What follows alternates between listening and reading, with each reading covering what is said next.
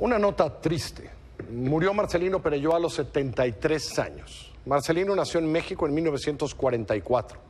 Sus padres habían llegado a México exiliados después de que su padre, Marcelí Perelló Domingo, militante y dirigente del Partido Proletario Catalán, fuera apresado y encarcelado en España a final de los años 20, antes de la Guerra Civil, por haber conspirado para poner una bomba al rey. Su madre, Edelvira, se dedicó en México a la docencia. Marcelino se dedicó a estudiar y, por supuesto, a la política. Era miembro de las Juventudes Comunistas, un grupo entonces clandestino, cuando en 1968 este, estalló el movimiento de protesta en la Universidad Nacional Autónoma de México. Miembro del Consejo Nacional de Huelga, se distinguió por su elocuencia, sobre todo por su inteligencia y, habrá que decirlo, por andar en una silla de ruedas donde había quedado después de un accidente en un patio ferroviario en Rubí, en Cataluña, durante un viaje a aquel pueblo en la que nació su madre, y ahora se los digo, también donde nació mi padre, mi abuela y mis tíos. Marcelino salió a escondidas huyendo de México después de la matanza de Tlatelolco y terminó en Rumanía, donde nació su única hija, Aina Perelló. En Rumania se hizo matemático, de los buenos, de los mejores.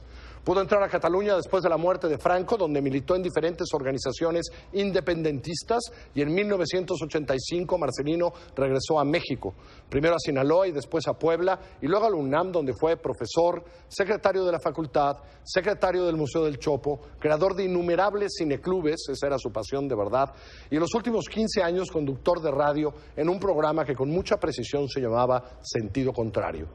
Pero fue siempre, sobre todo, un radical, un agitador, un provocador. Otros se han encargado de contar los últimos meses de su vida. Lo han hecho con saña. Yo no. No me da el alma para eso. Yo me quedo con quien conocí a los 12 años en Barcelona, volví a abrazar a los 22 en México y lo disfruté los siguientes 32 años. Gracias, Marcelí. Abrazo a Mercedes, a Carlos, a Edelmira y a Ania, y a todos los demás, a tus salmones. Ayer en el funeral me dijo algo Joel Ortega que se me quedó.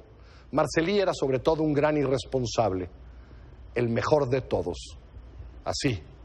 Los dejo con unas palabras de un documental de hace algunos años del canal del Congreso sobre el 68, porque vale la pena oír a ese Marcelino Perello. El, el 68 fue un movimiento que se, pro, se propuso, pues, esta transformación hacia un mundo nuevo, un mundo de libertad y justicia. El resultado hasta el momento ha sido el inverso al que esperábamos.